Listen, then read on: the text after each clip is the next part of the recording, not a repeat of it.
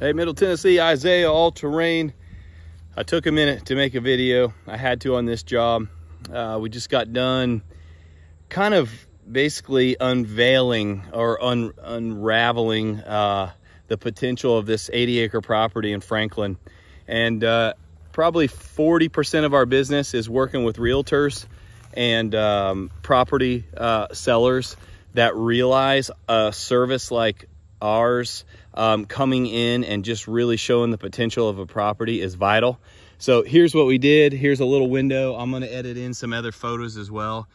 But this place, when we got here, you could not see your hand in front of your face. Huge pond right here, big rolling meadows and pastures. All this was about seven foot high, just brush and nastiness. And there's probably, I don't know, it's probably a couple mile long drive that comes in here uh, off the road, which I'll, I'll put some photos in as well.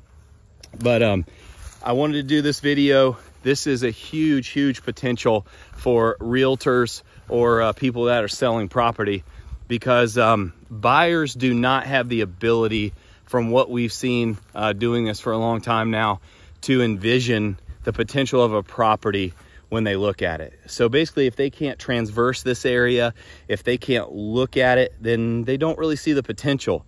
So by us peeling away all these layers, it was huge. We went as far as the other side of that big pond.